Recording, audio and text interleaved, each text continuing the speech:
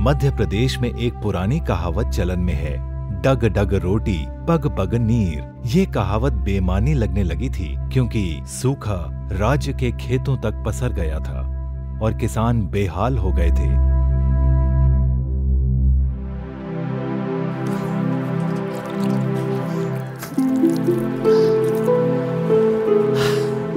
सोनू की अम्मा। आ गए हम।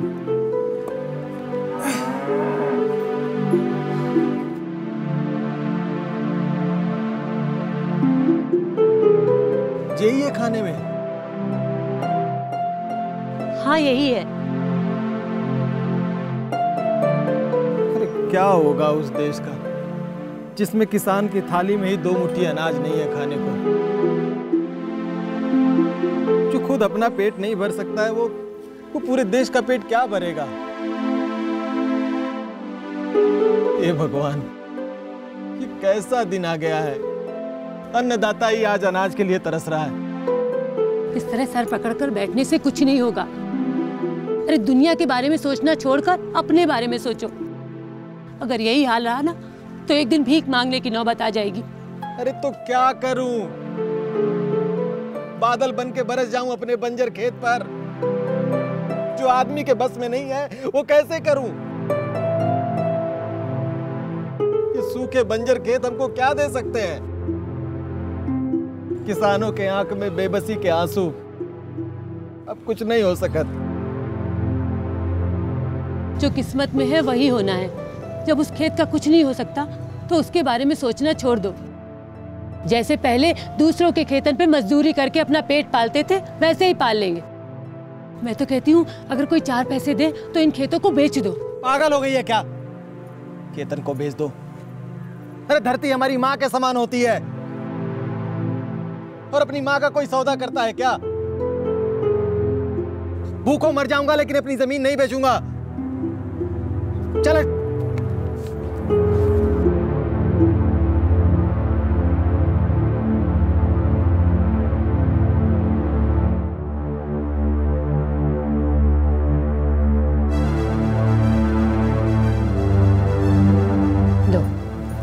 बापू की कसम खा के पेट भर लो।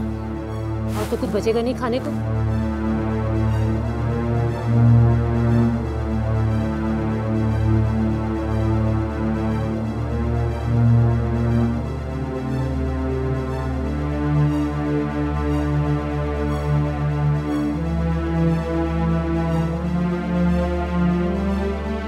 क्या ढूंढ रहे हो? अरे वो कुछ नहीं, तुम अपना काम करो। हम कर लेंगे। तुम कुछ गड़बड़ तो नहीं करने वाले? अरे अब और क्या गड़बड़ करूँगा? न रहेगा बाँस न बाजेगी बांसुरी। मेरा मतलब हमें भी बताओगे क्या करने वाले हो। वही कर रहे हैं जे तू कह रही थी। अपनी इस इस धरती मैया को बेचने जा रहे हैं ताकि ताकि बच्चों को ज़िंदा रख सके।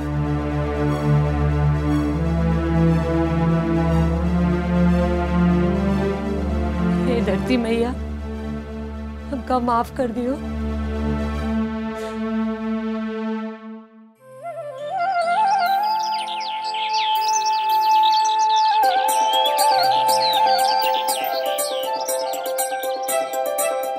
अरे सोनू के बापू रात भर में ऐसा का हो गया कि सुबेरे सुबेरे सदज कर कहाँ जा रहे हो?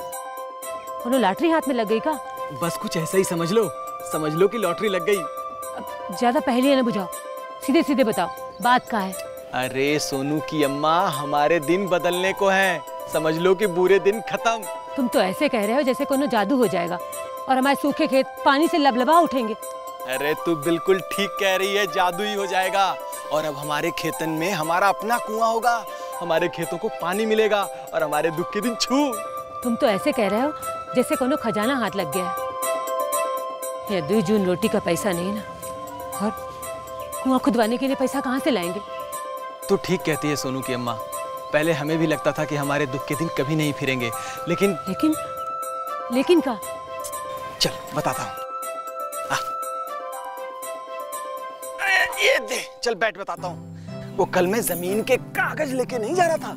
तो रास्ते में मार्च साहब मिल गए थे हमको और उनके साथ में अपनी वो शशि दीदी वो अपनी ग्राम पंचायत की सचिव है ना वो भी मिल गई।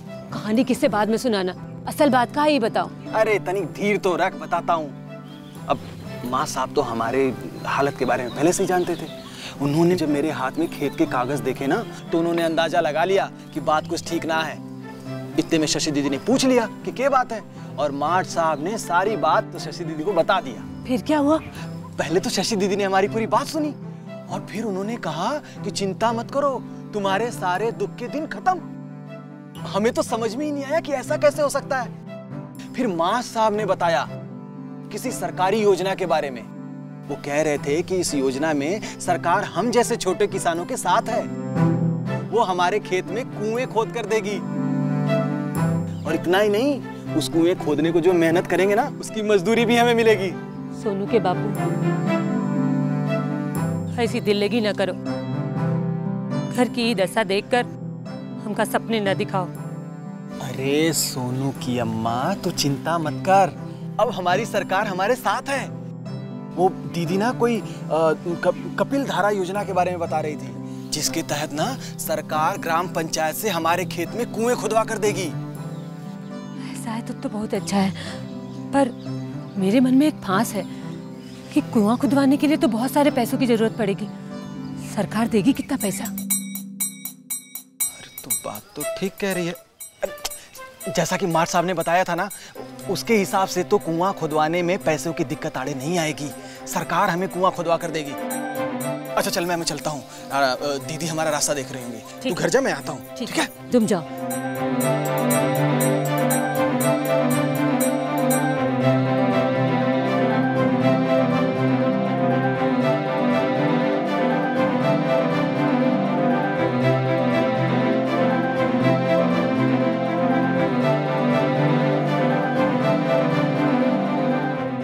आपका आवेदन ग्राम सभा में पारित होने के हफ़्ते भर बाद स्वीकृत हो जाएगा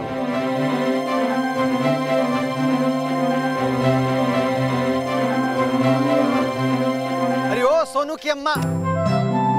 हमारे दुख के दिन अब खत्म समझो। क्या हुआ? बात हो गई क्या? हाँ भगवान की और हमारे मध्य प्रदेश सरकार की ना हम पर बड़ी कृपा है। ठीक कह रहे हो सोनू के बापू। मैं तो बस मरने ही वाली थी। इलाइकन के मुँह देखती रहती थी। अच्छा ये बताओ वो पैसन का क्या हुआ? कितने मिलेंगे? अरे उसकी चिंता तुम ना करो। सीईओ साहब से हमारी बात हुई है। और ग्राम पंचायत की सचिव दीदी है ना उनने तो हमारी अर्जी खुद ही बना दी। अब तुम पूछोगे कितना समय लगेगा? हाँ हाँ ये तो जानना चाहूँ। तो ज़्यादा से ज़्यादा एक सप्ताह। सच्ची? हाँ। सब हमारे मुख्यमंत्री महोदय की कृपा है।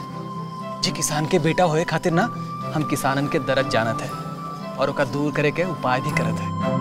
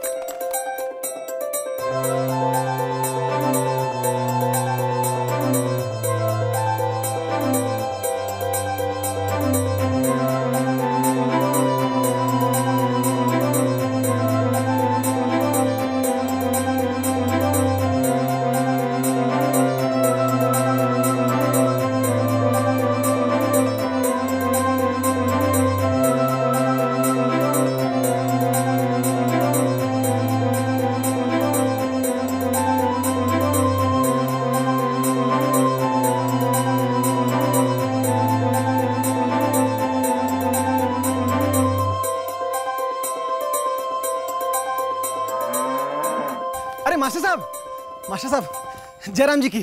जय राम जी की। अरे मैं आपके घर ही जा रहा था। ये लीजिए मिठाई खाइए। मिठाई? तो किस खुशी में? अरे मास्टर जी हमारे जो हरे भरे खेत लहरा रहे हैं ये आप ही की तो देन है। आपका ये एहसान हम कभी नहीं भूलेंगे। राम जी ये एहसान हमारा नहीं। मध्य प्रदेश सरकार का मानो जिसे तुम जैसे किसानों की मदद के लिए ऐसी योजना बनाई है। हम्म? नहीं तो तुम पानी की आस लगाए बैठे रहते और खेत बंजर के बंजर रह जाते। ये जो हरियाली तुम देख रहे हो ना वो मध्य प्रदेश सरकार की देन है। आप बिल्कुल ठीक कह रहे हैं मास्टर साहब। अरे हमारे तो दिन बदल गए। हमारी सरकार ने हमको बचा लिया मास्टर जी। चलो तुम्हें खुश देखा तो मुझे अच्छा लगा। अब ना तुम्हें अपनी ज़मीन बेचनी पड़ेगी ना किसी दूसरे के खेत में मजदूरी करनी पड़ेगी। चलो अब मैं चलता हूँ। तुम जैसे दूसरे किसान भाइयों को भी मध्य प्रदेश सरकार की कपिल धारा योजना की जानकारी देनी है।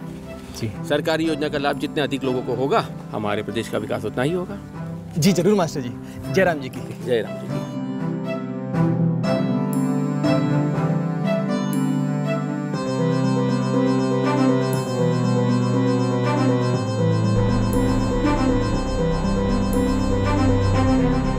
अरे सोनू की अम्मा!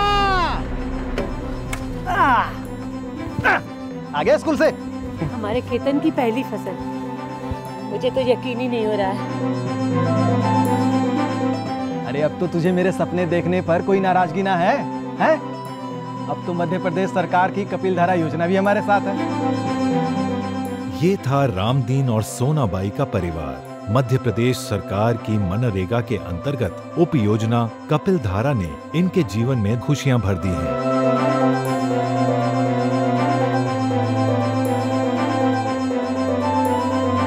मध्य प्रदेश के अलग अलग जिलों में ऐसे लाभ पाने वाले किसानों की संख्या दिन ब दिन बढ़ती जा रही है। मध्य प्रदेश में मनरेगा की कपिल धारा योजना से लगभग तीन लाख कुएँ निर्मित किए गए, जिससे इतने ही परिवारों का आर्थिक सुदृढ़ीकरण किया गया।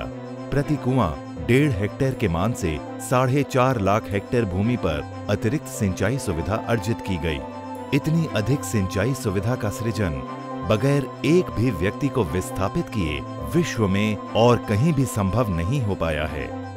मनरेगा की कपिल धारा निर्धन, ग्रामीण, कृषक का सहारा।